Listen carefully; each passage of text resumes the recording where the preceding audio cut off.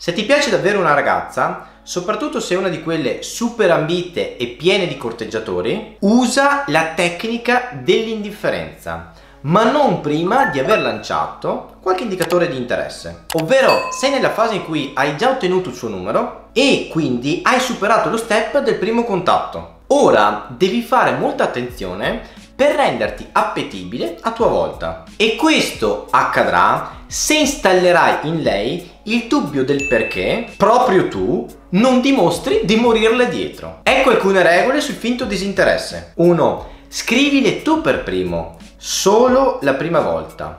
Poi non farlo, fino a che non sarà anche lei a scriverti a sua volta. Se le interessi, lo farà. 2. Non argomentare solo tu nelle conversazioni chat e live. Fa sì che si impegni anche lei a farsi conoscere e a conoscerti con domande rivolte a te. Perché questo avvenga? Sii un po' criptico. L'uomo tenebroso ha sempre suscitato un certo interesse nelle donne. Perché vogliono scoprire tutte cosa c'è dietro quell'aspetto così misterioso. E vogliono pure accaparrarsi la medaglia della prima arrivata nella scoperta. E tu sarai il premio vinto. 3 non riempirla di complimenti banali. Più è bella e più sarà abituata agli apprezzamenti estetici. Quindi dimostra di notare anche altro in lei, ma non fare come qualche uomo che, esagerando, si pone con fare di sfida estetico con lei e finisce, per non dirle mai, nemmeno una volta come sei bella questa sera. Come sempre, vale la regola dell'equilibrio. Un complimento a settimana è poco, due invece sono troppi. Sappi dosare il tutto. 4. Risulta ambito ai suoi occhi. Le donne donne sono abituate ad avere un numero di corteggiatori abbastanza elevato e sapere o credere che anche tu sei circondato da corteggiatrici femminili aiuterà a farla scendere dal consueto piedistallo sul quale inevitabilmente si ritrova e dal quale gestisce tutte le sue avance. Al contempo questa sorta di parità ti donerà un'aurea più accattivante. Parola d'ordine, smantellare